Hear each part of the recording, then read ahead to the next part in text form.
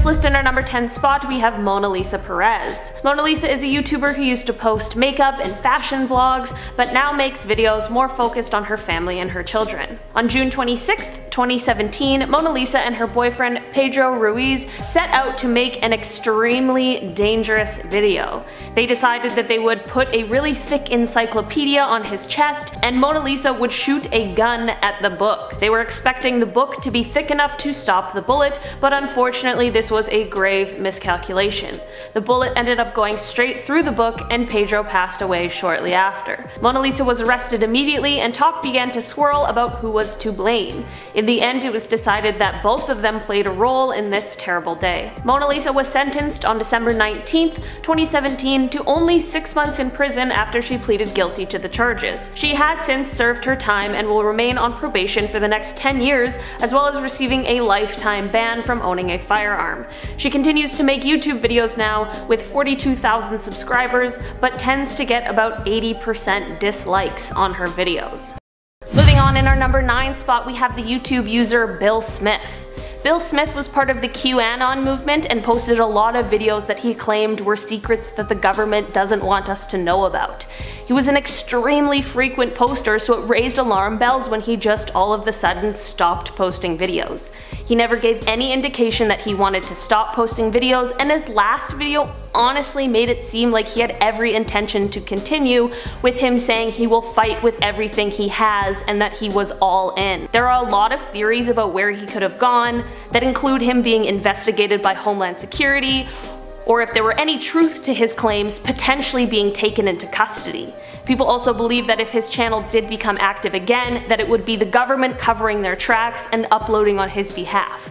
It's a lot of speculation, but at the end of the day, who is Bill Smith and where did he go? For 8th spot today we have Jay Station. Jay is a Canadian YouTuber who is known for his fake prank videos. He's extremely controversial because of the type of content that he posts. He has been arrested quite a few times and has even deleted his channel in the past before starting a new one. Earlier this year, Jay decided to post a video where he claimed that his girlfriend had died. This was untrue and just an idea used to garner attention and gain sympathy subscribers. Later, the Toronto police showed up at Jay's house to arrest him after that same girlfriend had accused him of a and a with a weapon.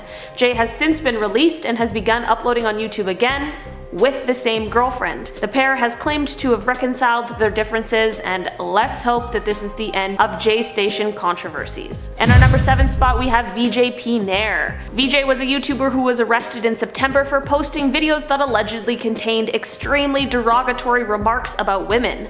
Apparently prior to his arrest he was actually attacked by a group of women activists who took his phone and laptop to hand over to the police. His channel has since become private since the police need to review all of its content content in order to conduct their investigation. There's a lot of bizarre stuff going on in this case, like his potentially false claims to be a film director as well as a teacher and a potentially fake PhD that he claims he has in clinical psychology. He is still under investigation at the moment, but he is facing 5 years in prison if he is found guilty. In our number 6 spot today, we have Ahmad and Zinab Hassan. The Egyptian YouTube couple are known for their comedy videos and vlogs and quickly gained success. The pair recently recently welcomed their first child who they quickly began adding to their videos. Once they began to include their daughter in the videos, people began to get upset over the fact that it really did seem like the baby didn't want to be involved. There was a video where the child was clearly unhappy being posed for it and was crying uncontrollably while the pair just laughed and didn't really do anything to comfort the obviously upset child. There was a video that ended up being the final straw for a lot of people when it showed Zinab with dark paint on her face, which is already upsetting and derogatory enough, but she then clearly terrifies the child who's again crying with what she has just deemed as a prank. The pair has since been arrested and is being investigated for child endangerment, as well as violating Article 96 of Egyptian law, which protects children from threatening situations. They haven't been officially charged yet, but could be facing life sentences, depending on what the official charges ended up being. In our number 5 spot today, we have Alex and Alan Stokes. The twin YouTubers are known for their prank videos, but last year a video they uploaded has caused quite a stir for the two. Last October they uploaded a video that was supposed supposed to be a bank robbery prank. They called an Uber and they got in wearing black outfits and ski masks and had large duffel bags and pretended like they had just robbed a bank. The Uber driver rightfully denied to take them anywhere, and a witness thought that the boys were carjacking the Uber driver and they called the police. Once police arrived on the scene, they approached the Uber driver with their guns drawn. This poor, unsuspecting Uber driver really didn't deserve to be caught up in all of this. Apparently, shortly after this incident, the boys did a similar prank at the University of California's Irvine campus, where police were called again. They were originally let off with a warning, but they have since been charged with false imprisonment as well as falsely reporting an emergency, which could see them each receiving a four-year sentence. In our number 4 spot, we have one that just happened the other day. A Russian YouTuber named Stanislav Reshetnikov has been arrested and is being investigated for the death of his girlfriend Valentina. On a live stream, Stanislav was offered 1,000 US dollars to lock Valentina outside in the freezing cold.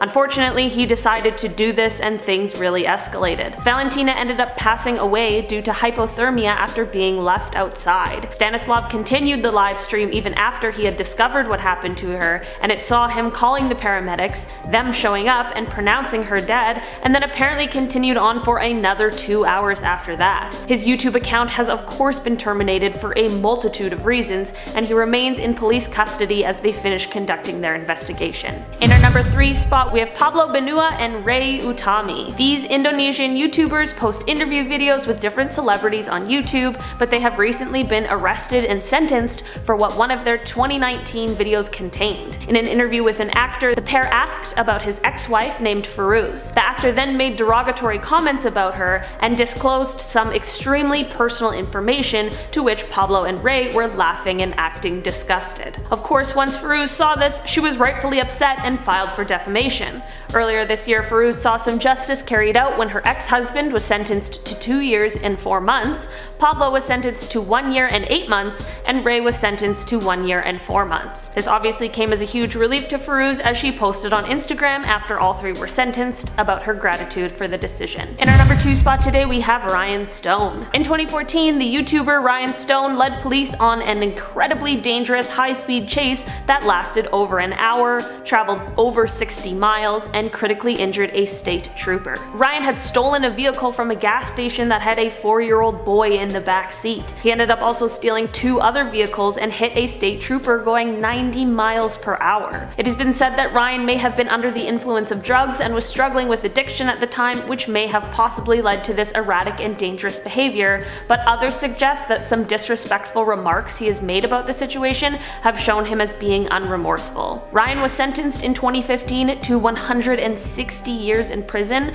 but will likely become eligible for probation in 75 years, which would make him 102 years old. In our number one spot today we have Lenscap Productions. Lenscap Productions was a YouTuber who liked to review anime content. His real name is Trey Eric Sesler, and he quickly became one of the largest anime review channels, but things took an extremely dark turn in 2012. Trey made a plan to kill 70 people at his high school's pep rally. This plan fortunately didn't end up being completed, but Trey did end up killing his own family. He said that he did it so that they would be spared from knowing his ultimate plan that never ended up being carried out. It is an unbelievably tragic situation that ended up giving Trey a life sentence in prison. There were a lot of people who originally thought that maybe he might even receive the death penalty since he lives in Texas where it is legal, but that did not happen. Trey has asked for his parole opportunities to be taken away because he said he doesn't trust himself outside of prison.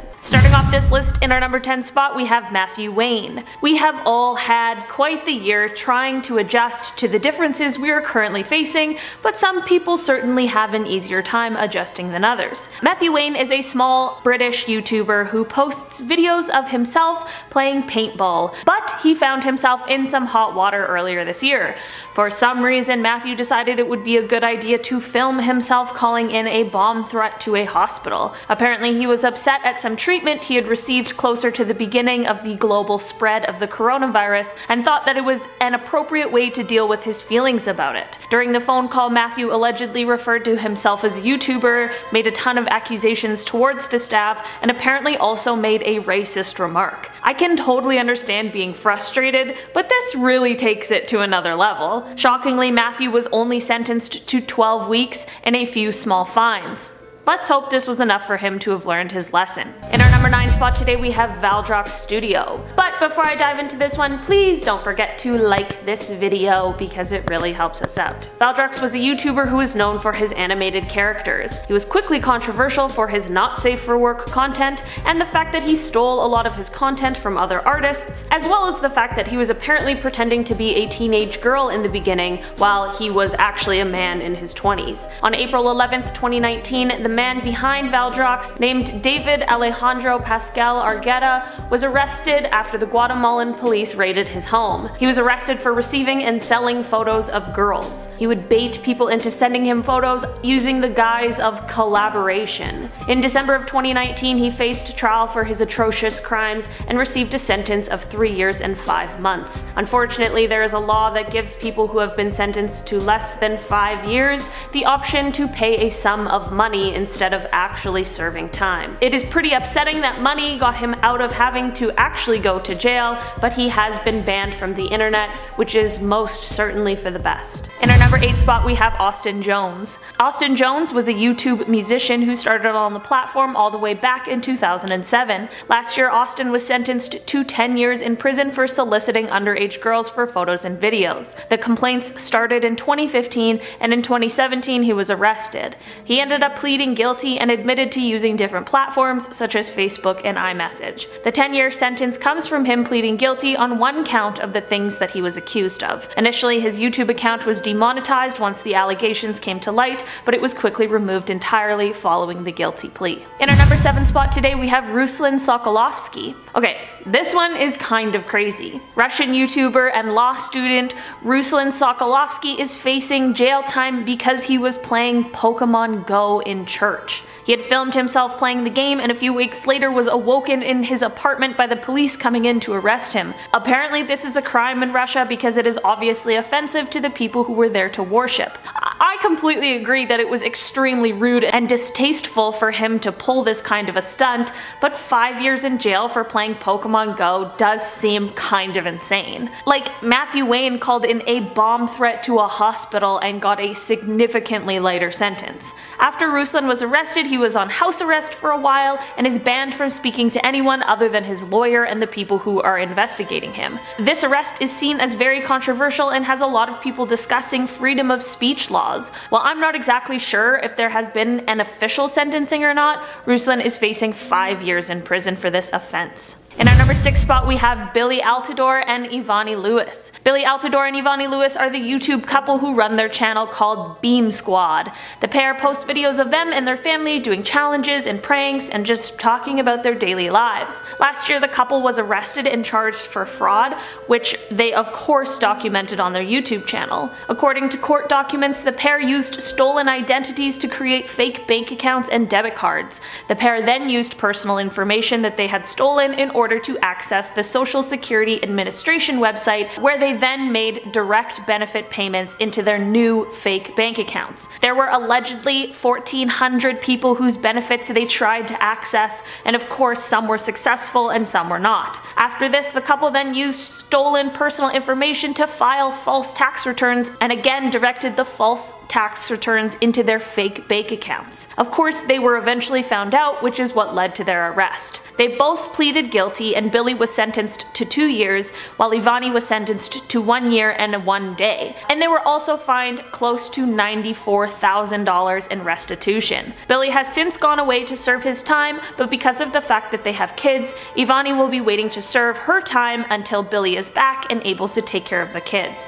Their channel continues to grow and gain subscribers and sees around 12 uploads a month. In our number 5 spot today we have Daniel Silva. Daniel is a YouTuber and tattoo artist who may be better known for his time on the tattoo competition show Ink Master. Daniel uploads videos of him tattooing and having conversations with celebrities, influencers, and athletes. Things took a really sad turn for Daniel earlier this year though. On May 10th, Daniel was speeding his 2020 McLaren 600 LT with his friend and famous YouTuber Corey La Barrie in the passenger seat when he accidentally lost control of the vehicle and ended up crashing into a stop sign and tree. This crash ended up taking the life of Corey. Daniel was then arrested and ended up pleading no contest in July. In August, he was sentenced to 364 days in jail as well as 5 years of probation, 250 hours of community service, and if he fails to comply with any of his probation terms, he'll be facing a 4-year prison sentence. Daniel has actually since been released from prison, but his YouTube and Instagram accounts both remain inactive. In our number 4 spot today, we have Ferdian Paleka. Earlier this year, the YouTuber was arrested after posting an extremely transphobic video.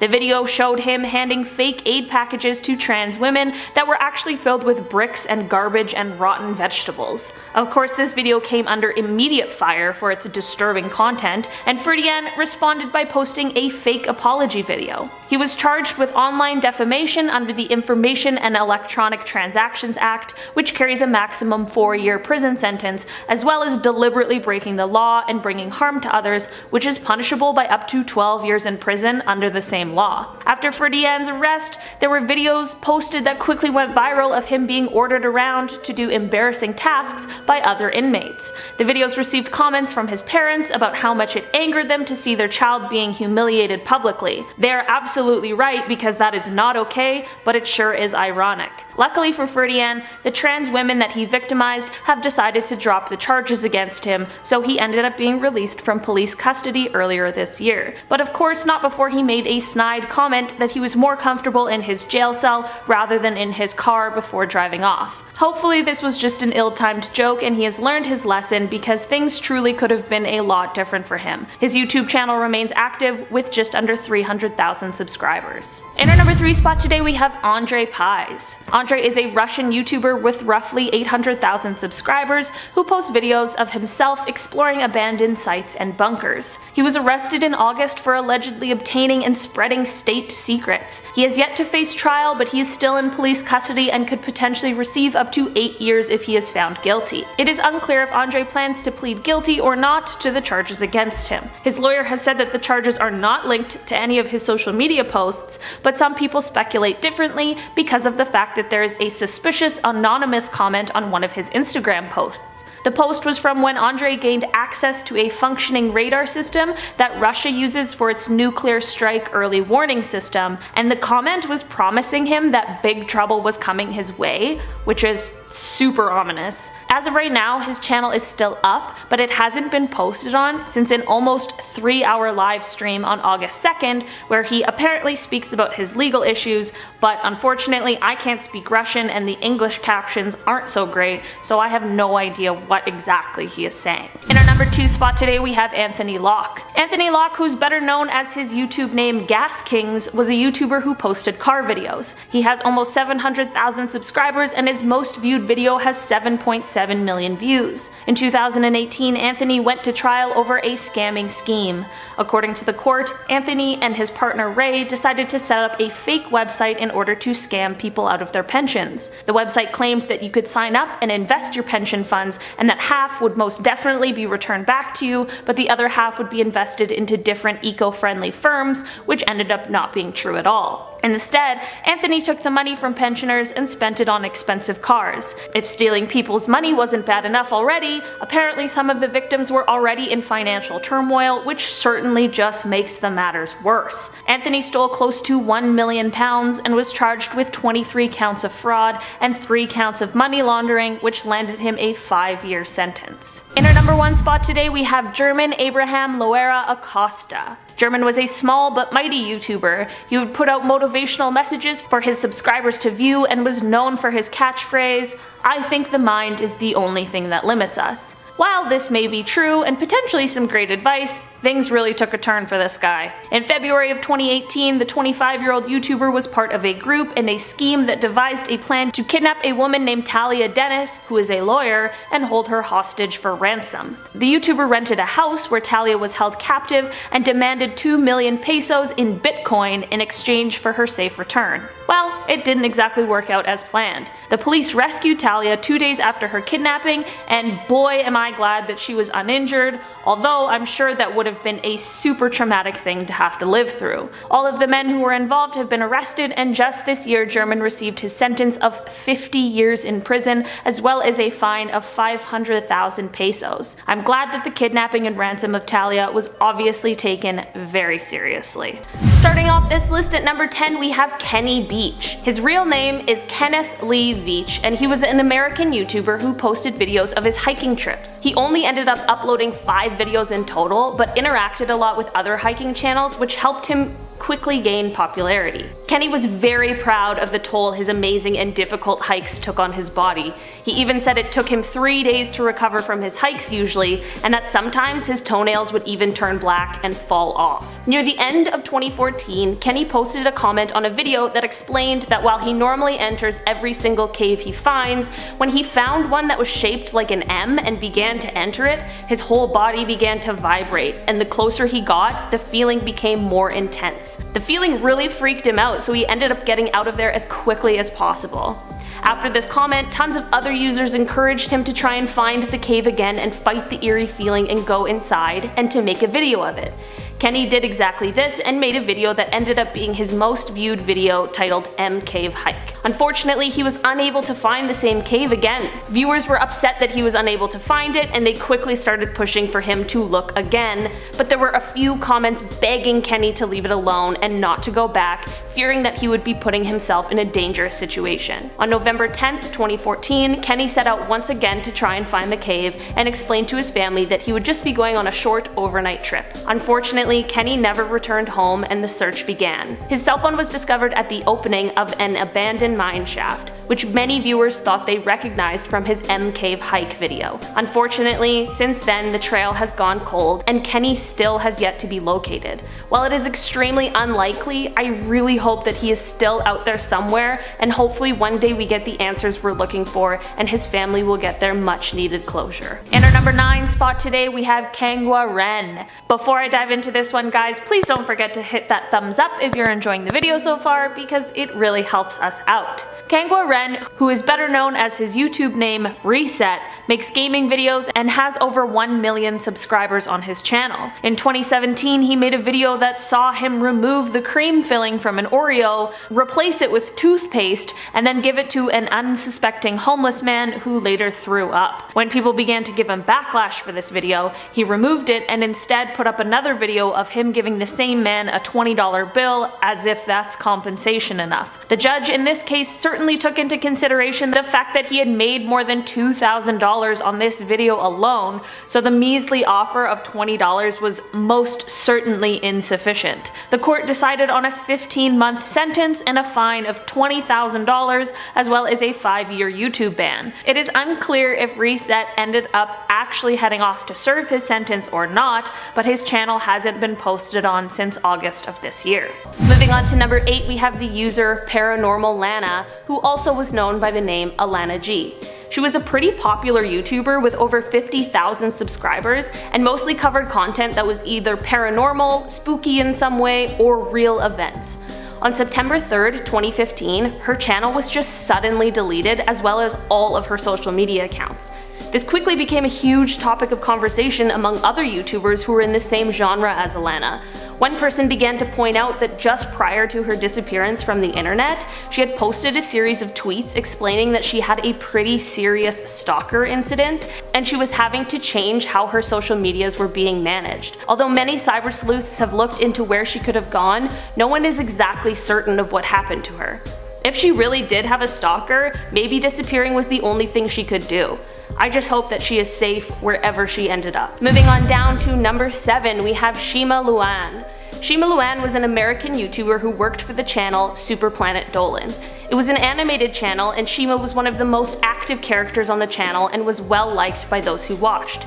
In 2016, in a video called The Future of Planet Dolan, they explained that Shima had suddenly fallen out of contact with the other people on the channel, but the last time they spoke, she was safe, so they didn't suspect anything bad. Of course, a lot of viewers didn't believe this and began to speculate that this was the crew trying to cover up her disappearance. In February of this year, a YouTuber called Scarce Theater made a video taking a look into Shima's disappearance, and one of the members of the Dolan crew left a comment that may have cleared some things up for us.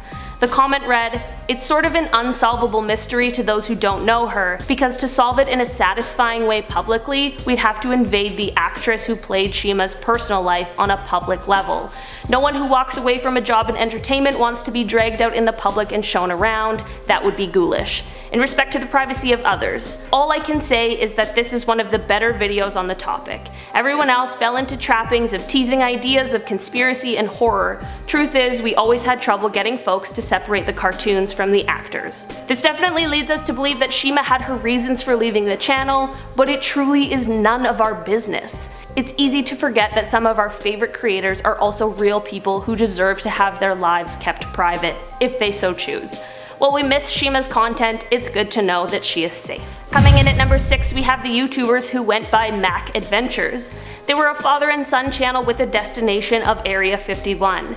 In 2016 they had posted a video of them finally arriving at the Area 51 border. As they arrive at the border a couple of agents in full camo gear pull up to them in a truck, get out with guns in their hands and basically ask them to leave the premises. After the video was posted they released one more video and then an extended version of their original Area 51 video and then they went totally silent. All of their social media were blown up with people believing that the Area 51 video was fake, which has led some people to believe that they just decided they didn't want to continue creating content because of the negativity, but that's not what everyone believed. A lot of people believed that maybe they had just gone back to Area 51 and tried to get further into the closed off area than last time and ended up getting arrested or maybe even worse. After a few years of people speculating and wondering what happened to them, last year there was finally an update. The son of the duo ended up doing a YouTube livestream where it was finally explained that they had just decided to take a break and it ended up becoming more of a permanent decision than they had originally planned on. While this is sort of an anticlimactic ending, it's definitely the best outcome that could have happened. At our halfway mark in our number 5 spot we have the user Kev Jumba whose real name is Kevin Wu. Kevin was one of the first YouTube stars joining the platform all the way back in 2006, and by 2008 he was the third most subscribed to channel. Kevin used his YouTube success to go on a season of The Amazing Race, as well as even landing a role in a Hollywood film, Revenge of the Green Dragons. He slowly began to post videos less frequently and eventually made his channel entirely private, moving his focus more to the other aspects of his career. Things took a turn though in 2015 when he kind of just entirely disappeared for a while. People began to get really worried about Kevin and rumors began to swirl about what could have happened and where he could have gone. Luckily, we eventually heard from Kevin again, but in an unfortunate turn of events, he explained that the reason for his disappearance is because he had been hit by a car and suffered some pretty serious injuries. The accident left him with a broken spine and a collapsed lung, as well as a number of psychological injuries. He has since been focusing on his recovery and credits his dad for really helping nurse him back to health. While it is obviously extremely traumatic and upsetting that he had to go through this near-death experience, we're just glad that he was able to make it through and recover. Continuing on to number 4 we have Spy Kitten TV who was also known as Dasha. Dasha made a lot of videos about the Illuminati and people that she suspected were members. Her last video was posted in July of 2018 and while all of her social media profiles remain up and active, no one has heard from her or seen a post since. It is possible that she just decided to leave the internet life behind, but it is kind of curious that she didn't leave any sort of farewell. People have speculated that she was exposing too many secrets and ended up being kidnapped or silenced by the Illuminati, while others believe that she met some sort of ill fate in another way. I'm sure those in her personal life know what happened to her, and while I wish someone could give us some sort of update, I suppose it really is none of our business unless they decide they want to share. Hopefully she's out there somewhere and maybe someday we'll know what happened and where she went. Coming in at number 3 we have Marina Joyce. Marina was a popular makeup and fashion YouTuber and had a large 2.1 million following.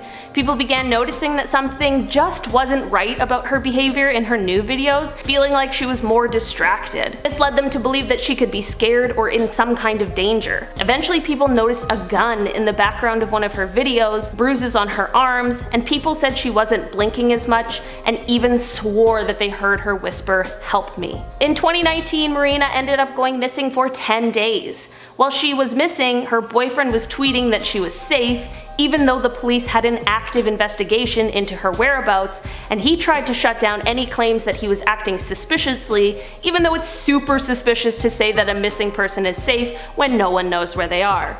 After it was confirmed that Marina had been found, she tweeted that she never actually went missing, even though, like I mentioned before, the police were actively looking for her. She claimed that her suspicious boyfriend had been taking care of her. There are a lot of speculations about what happened and why she disappeared for that time, but she claims that she is not in any sort of toxic relationship and just wants her fans to watch her videos and stop worrying.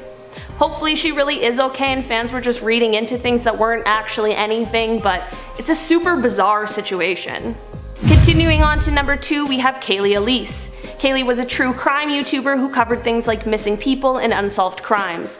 In 2019, we did get a heads up from Kaylee that she would unfortunately be leaving the platform due to some health concerns that she was facing, and in a live stream goodbye, she assured fans that she would keep her videos up for everyone to continue enjoying. This is all fine and well, but people got very concerned a few months later. In December of 2019, her entire channel was deleted. It caused a lot of fans to worry about what happened to her and if her health concerns worsened after after she left the channel.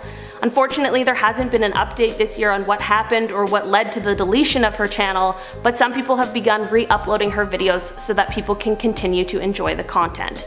Wherever she is, I hope she's able to take care of her health concerns and focus on herself. Finishing off this list in our number one spot, we have the strange disappearance of Nicholas Sonderegger. Nick was a fairly small but growing YouTuber with 2,000 subscribers and was featured on the YouTube channel Explore With Us. Nick was 28 at the time of his disappearance and was last seen on September 7, 2018 around 2.30 am. He had heard a female screaming outside of his home in Salton Beach, California and went to investigate. After he failed to return home that night, he was reported missing the next morning. Some of his clothing that he had left in was found by the search parties, but it is still unknown what happened to him or where he could be. It's really upsetting that he obviously went to go and help someone who seemed to be in despair and it led to trouble for him. It certainly shows his courage and bravery. There's a $10,000 reward for any information that leads to his whereabouts, so if any viewers have information, please contact the Imperial County Sheriff's Office. Someone somewhere has to know something about where he could be, and I hope that one day his family gets answers and closure.